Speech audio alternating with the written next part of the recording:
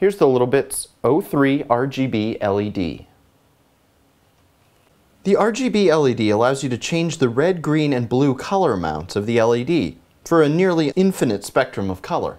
So for an example, if we take our battery and we take our power, and we take a little pink bit, in this case a pulse, we plug it in, then we can take a screwdriver and actually adjust the RGB values.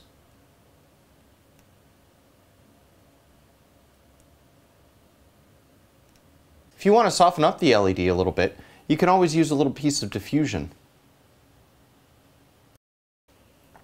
It's the O3 RGB LED from Littlebits and Inventables.